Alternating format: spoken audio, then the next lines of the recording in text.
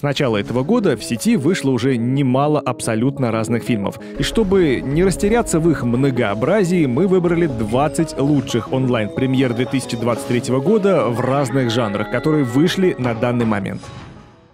Подземелье и драконы. Честь среди воров. Подземелье и драконы — это знаменитая настольная ролевая игра, позволяющая игрокам на основе набора правил легко создавать собственные приключения. Фильм по ней создавался тяжело, долго, были судебные споры по поводу прав, несколько раз переписывался сценарий, и все в итоге затянулось на целых 10 лет. Но весной 2023-го наконец-то это случилось. По сюжету пара авантюристов сбегает из своего заточения, собирают разномастную команду охотников за удачей и отправляется вернуть себе все, что принадлежит им по праву. Они здесь! Фильм получился легким и позитивным, на голову выше, качественнее и эпичнее всех предыдущих попыток экранизации игры. Он регулярно выдает зрелищные сцены и временами смешит. И это действительно качественное фэнтези, в котором органично переплетены классика старых сказок и современный подход к повествованию. Бежи!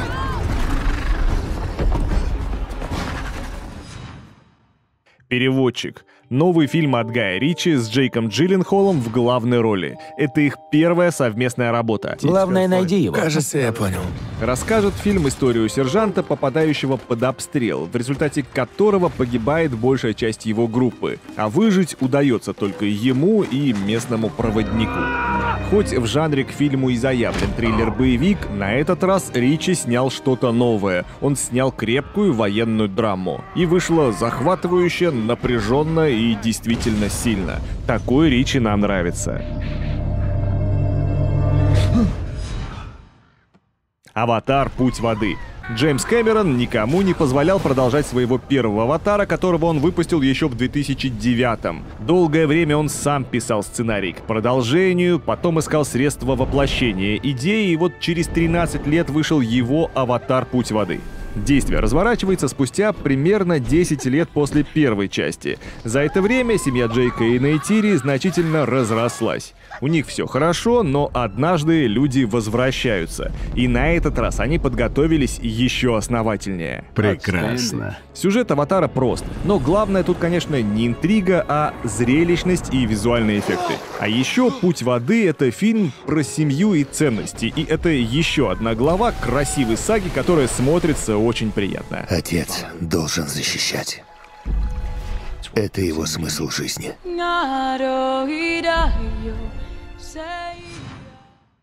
Крид 3. Это уже девятый фильм во франшизе Рокки и третий в побочной серии об Адонисе Криде, ученике Рокки Бальбоа. Но от самого Рокки тут уже ничего не осталось. Сильвестра Сталлоне здесь нет. А вот Майкл Би Джордан не только исполнил главную роль, но и дебютировал в качестве режиссера. События этой части происходят спустя пять лет. По сюжету, на свободу после длительного тюремного заключения выходит друг детства Адониса, тоже талантливый боксер. Он хочет доказать, что заслуживает своего шанса на ринге. Забудь о прошлом. Будущем. Есть только сейчас. Этот фильм действительно сильно отличается от предыдущих фильмов франшизы Рокки. Конфликт главного героя стал чуть глубже, бокса стало чуть меньше, а драмы чуть больше. Но в целом для дебюта Майкла Би Джордана как режиссера вышло вполне достойно, и наблюдать за боем, как за дуэлью, интересно. Меган.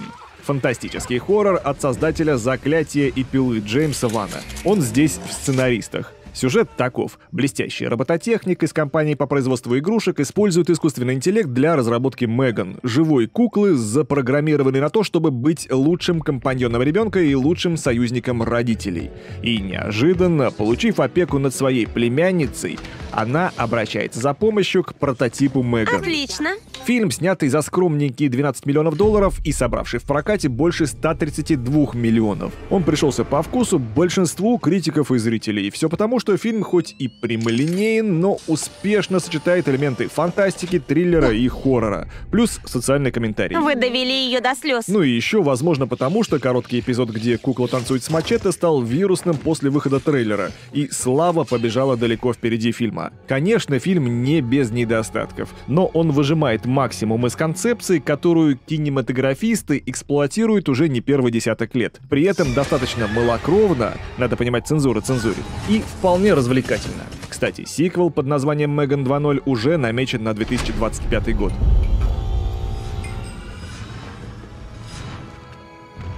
Вавилон. Картина Дэмиана Шазела, автора «Одержимости» и «Ла Ла Ленда». Это его первый фильм спустя пять лет после «Человека на Луне», а в главных ролях здесь голливудские звезды первой величины. Это историческая зарисовка важной кинематографической эпохе, которую принято именовать «золотым веком Голливуда». И сюжет, соответственно, разворачивается в Голливуде конца 20-х, начала 30-х годов. До 1934 года в американском кинематографе в принципе можно было демонстрировать абсолютно все. И это потом на содержание картин стали накладывать ограничения. Так что этот фильм о голливудских излишествах тех годов, и в нем множество вульгарных сцен, ненормативной лексики и наготы. То есть те, кто хотел обратно в «Ла-Ла Ленд» Демьяна Шазела, вам однозначно мимо Вавилона. При этом у картины нереальный размах, внушительный бюджет и отличный каст пышный, яркий аттракцион про любовь к киноискусству. Правда, в силу чрезмерного хронометража, сумасшедшего темпа и пестроты вокруг он может и утомить.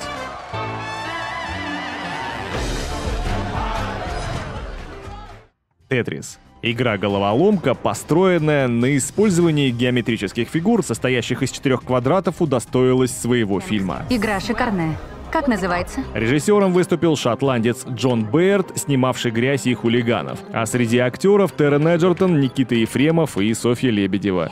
Да. Сама история выхода Тетриса на международный рынок долгая и запутанная и начинается в 1984 году. Тогда Алексей Пажетнов придумывает головоломку, вдохновленную трудностями со складыванием кубиков в коробку. А дальше Тетрис начинает стремительно покорять мир. Что это? В общих чертах фильм основан на реальных событиях, но без фантазии и небольшой клюквы тут не обошлось.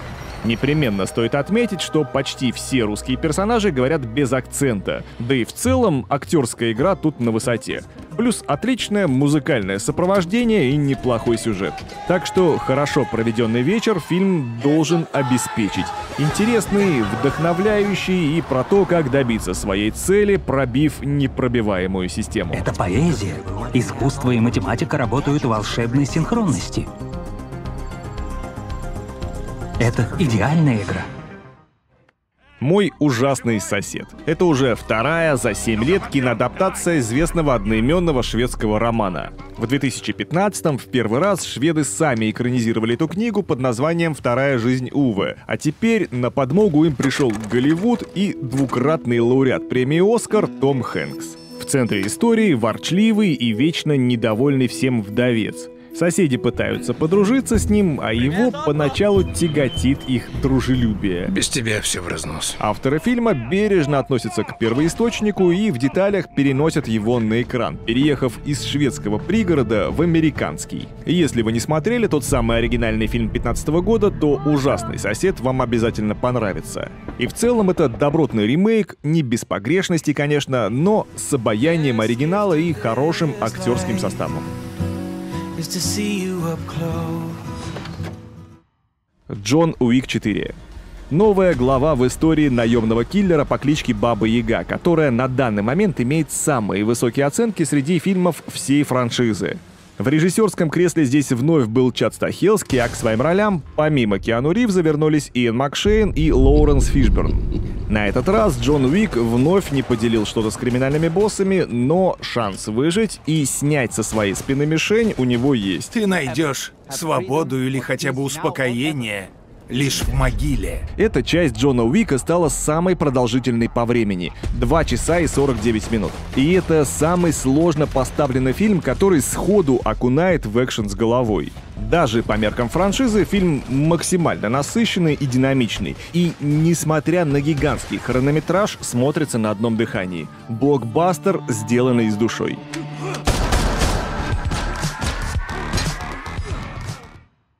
Убить Пок Сун.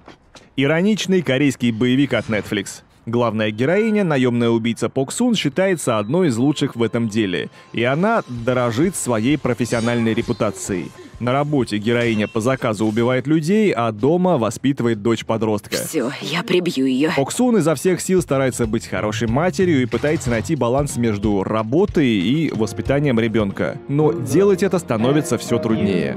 Этот фильм прозвали корейской версией Джона Уика, и на самом деле здесь отличные боевые сцены, с хорошей хореографией и с использованием самого разнообразного реквизита, от маркера и палочек для еды до самурайских мечей. В общем, это не скучный и очень увлекательный аттракцион. Ты была убита, не издав ни звука.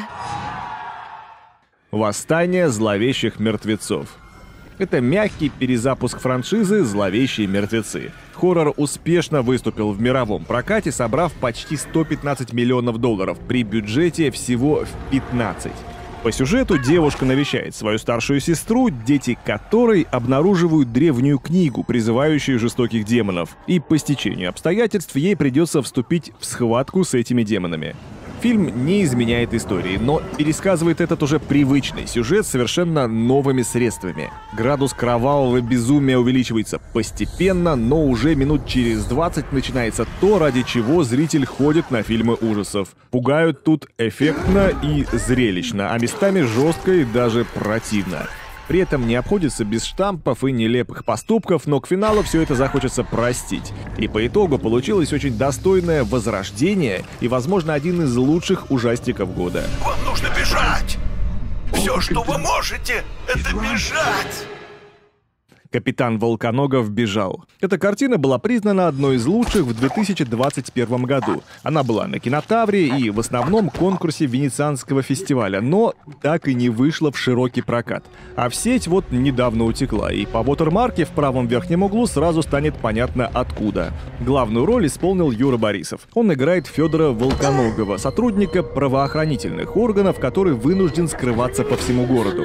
Ну а позже, во флешбеках, мы узнаем, почему и от кого он убегает и его главные цели. Ладно, пора мне. Это фильм «Погоня», который превращает СССР 1937 года в подобие антиутопии в духе 1984, потому что развивается словно в параллельной реальности, похожей и не похожей на историческую реальность Ленинграда, разрисованного граффити с картинами Малевича, Филонова, Петрова, Водкина и летающими по небу дирижаблями. Этот фильм кого-то заставит плеваться желчью, а других приведет в полный восторг. Но задуматься заставит всех. Голову запрокиньте. Пойте, продолжайте. Эйр. Большой прыжок. Новый режиссерский проект Бена Аффлека, основанный на реальной истории о том, как фирма Nike и Майкл Джордан подписывали легендарный контракт и о начале бренда Air Jordan. Кстати, чтобы передать в полной мере ту атмосферу середины 80-х, отснятый материал перенесли на старую 30-летнюю бета-кам видеокассету, а потом обратно в цифру. В общем, 1984 год для Nike стал судьбоносным. Их выручка тогда падала из-за высокой конкуренции, но один из сотрудников, роль которого исполнил Мэтт Дэймон, твердо уверен, что контракт с Майклом Джорданом вытащит их из затруднительного положения. Нет, идея дебильная. Встречу организовать можно? История получилась вполне увлекательной, даже несмотря на то, что финал известен всем, а еще добрый, с юмором и вполне порадует даже тех, кто совершенно равнодушен к кроссовкам. Да это же гениально. Да, тут нет какой-то особой интриги, но благодаря хорошей актерской игре и детализированной атмосфере получилось вполне себе интересно. Для кого кроссовки? Майкл Джордан.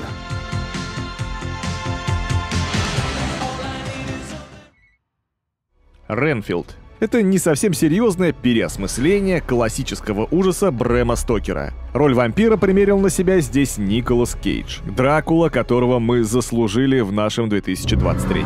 Давайте есть. Фокус повествования в этой истории смещается с трансильванского графа на его фамильяра по имени Ренфилд в исполнении Николаса Холта.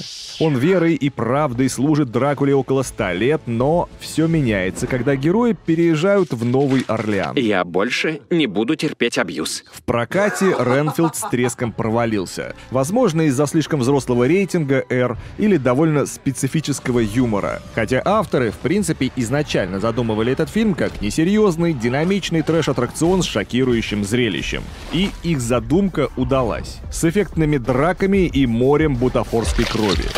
Фильм достаточно понятный и прямолинейный, то есть без каких-либо захватывающих поворотов сюжета и интригующих тайн. Но на вечер, на раз, Ренфилд вполне достоин просмотра, хотя бы ради яркого дуэта двух Николасов. Я твое единственное спасение.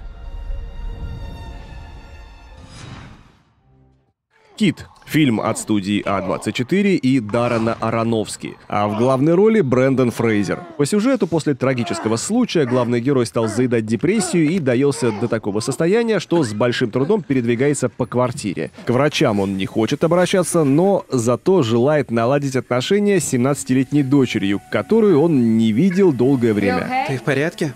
На 79-м Венецианском кинофестивале фильм получил хвалебные отзывы критиков и продолжительные овации зрителей. Особого внимания удостоился именно Брэндон Фрейзер, ведь для него Кит стал эффектным возвращением в большое кино, и теперь он номинируется еще и на Оскар.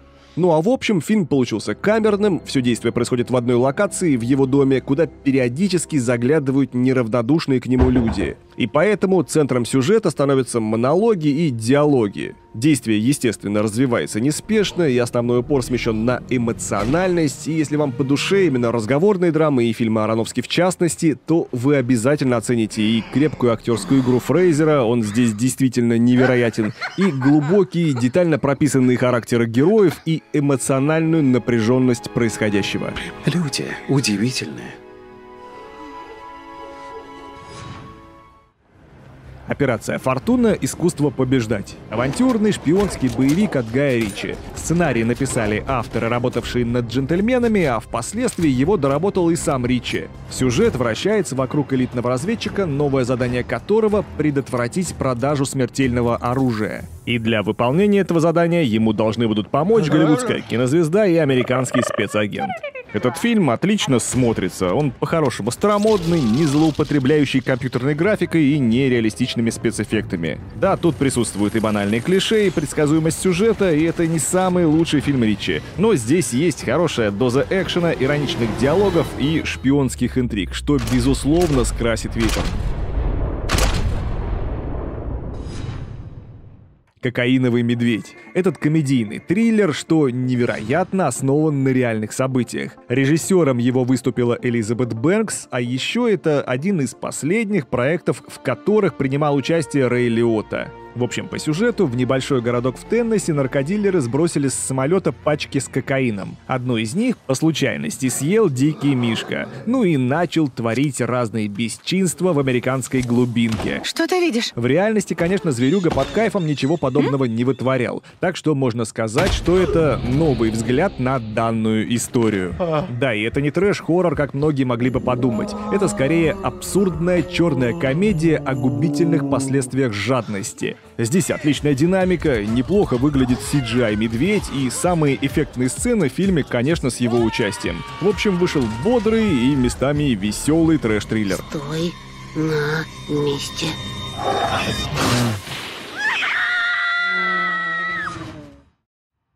Крик 6. Сиквел прошлогоднего хита «Крик 5» от тех же режиссеров Мэтта Беттинелли Олпина и Тайлера Джилета.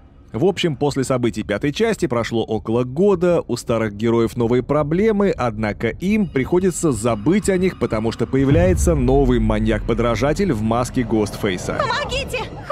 Этот фильм выводит всю франшизу Крик на новый уровень. Как пишут критики, низвергая каноны и устанавливая новые правила. Хотя основной набор ингредиентов, из-за которого мы и полюбили Крик, все же на месте. Яркие персонажи, закрученный сюжет, напряжение и множество киноотсылок. Беги.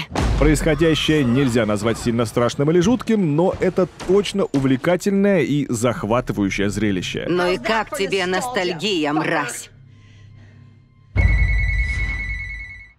«Лунный человек». Китайская комедийная фантастика, собравшая в мировом прокате около полумиллиарда долларов. В основу фильма лег вебтун под названием «Лунный ты». Вебтун — это цифровой комикс, созданный для чтения на смартфоне. По сюжету люди построили на Луне комплекс защитных сооружений. Экстренная эвакуация. Главный герой — самый обычный техник, который оказался там один после неожиданного поворота событий и теперь пытается обустроить себе нормальную жизнь. Рассчитывать надо только на себя. Тут хватает пробелов, касаемых логики и физики вещей, но в первую очередь это пародийная комедия, а не научно-фантастическая кинолента. И относиться к ней нужно соответственно. Китайцам удалось отлично спародировать и объединить в себе Армагеддон, Марсианина и частично шоу Трумана. И в целом этот фильм отличное развлечение на вечер. Местами наивное, но доброе и смешное. Смотрите. Пиноккио Гильермо Дель Торо. Пиноккио! Живая кукла! Мрачный сказочник создал свою версию истории о том, как деревянная кукла стала живым мальчиком. Действие этой истории разворачивается во время Первой мировой войны, когда пожилой Джепетто растит своего десятилетнего сына Карло и зарабатывает плотничеством. У него вырастет нос? Дельторовская версия сказки Карла Колоди совсем не подходит для семейного просмотра. Это напряженная, местами жуткая и душераздирающая история, объединяющая в себе фирменную мрачность режиссера с его огромной любовью к сказкам. Это твой час славы, сын! Пристрели марионетку! В плане сочетания красоты, необычности и оригинальности, эта версия из всех недавних экранизаций, пожалуй, самая лучшая. Да и в целом стоп-моушен анимация в этом мультфильме поражает невероятным объемом проделанной работы и максимально радует глаз. Это было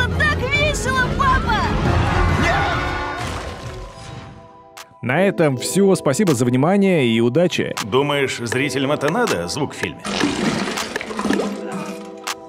Да, почему же нет?